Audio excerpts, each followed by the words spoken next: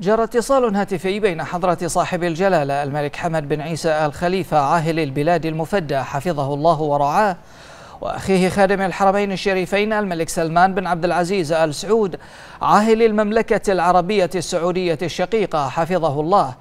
تم خلاله تبادل التهاني والتبريكات بمناسبة قرب حلول شهر رمضان الكريم.